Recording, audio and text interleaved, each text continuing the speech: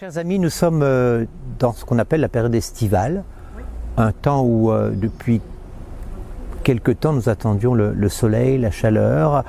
C'est un temps peut-être de plus grande gratuité pour chacun d'entre nous, un temps de, rencontre, un temps pour euh, reprendre souffle, un temps de, ressourcement, un temps où les rencontres sont peut-être plus naturelles, on, se retrouve en famille, on se retrouve entre amis. Ça peut être aussi un temps spirituel pour chacun d'entre nous de prendre quelques heures peut-être pour être plus euh, ancré dans la vie spirituelle. J'oublie pas non plus que nous sommes entre les deux tours de l'élection euh, des députés à l'Assemblée nationale. Donc chacun d'entre nous aussi prend ce temps de réflexion, de, de discernement, de maturité pour l'avenir de, de notre pays.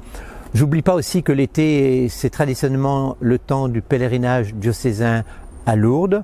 nous avons besoin que les pèlerins diocésains puissent s'inscrire pour le pèlerinage à Lourdes. C'est le temps aussi où les jeunes sont euh, dans des propositions très diverses pour leur vie euh, euh, personnelle et leur vie de foi.